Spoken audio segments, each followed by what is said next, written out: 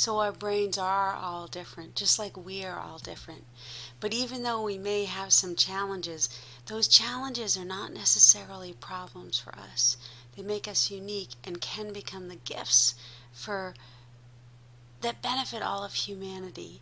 Here's an example of that. Some people with dyslexia, and there are many forms of dyslexia, some people with dyslexia have a unique eye where their visual field is different from the visual field of a typical eye. So I do not have dyslexia. If I look at this hand here, my brain gets most of the visual information from right in this small area right around the hand. I have a central bias. If I have certain types of dys dyslexia, this unique dyslexic eye, if I look at this hand, my brain actually gets more information from this area around the hand than it does from the hand itself.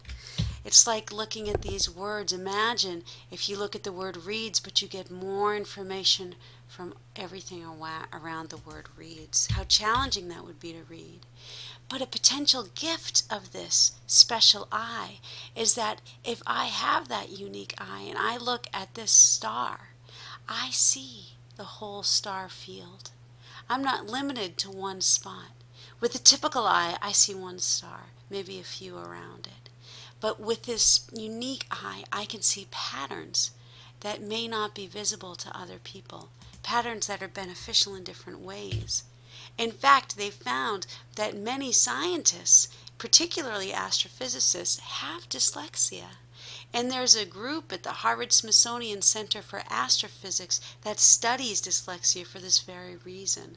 These two scientists are examples of people who were able to overcome severe dyslexia in order to accomplish extraordinary things in science and medicine extraordinary things. And the reason they overcame, eh, it seems, is because they were so interested in their subject matter. Not because reading was easy for them, it was very challenging, but they were so interested that they overcame the obstacles. This is why inspiration is so important in the Montessori classroom, in all classrooms. This is why following the child's interest is so important, particularly in the elementary years, to set that foundation for what their future studies will be, to guide them to follow interest as a means of learning everything that they need to learn. It can help them overcome anything that's not quite connected in a typical fashion in their brain. And that atypical connectivity is not necessarily problematic. It may, in fact, be a tremendous gift. So there is some really great evidence that Montessori pedagogy can help people develop to their full potential, whatever that is. And you may be familiar with some of these people that the founders of Google actually attribute their success and their unique creativity to their early years in Montessori school.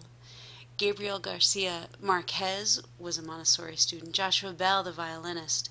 Julia Child, the wonderful chef um, was a Montessori student, Anne Frank, who at such a young age was able to record such important information in such a great perspective um, before her terrible early death. She was a Montessori student. George Clooney, the great actor. So you can see it's from all fields, all walks of life. People can find their strengths with a pedagogy that allows them to develop at their rate at their pace following their interest and with strong foundations that train the whole brain, not just the frontal cortex. Authentic Montessori is gaining data that shows that it has benefits when you look at a school. There's this great study by Angeline Lillard if you're interested in looking into it. And I just want to finish up by saying that I'm really grateful for um, the, my growing friendship and the mentoring from Silvia Dubovoy, who is a professor at the um, Montessori Institute of San Diego and uh, affiliated with several universities and came to give a great um, guest um, lecture at our Mind, Brain, Health, and Education course at Harvard University Extension School last year, and she was fantastic. And I'm grateful to her and to all of the students and mentors that I've had for this work. I hope you found this useful. May all beings benefit. Good night.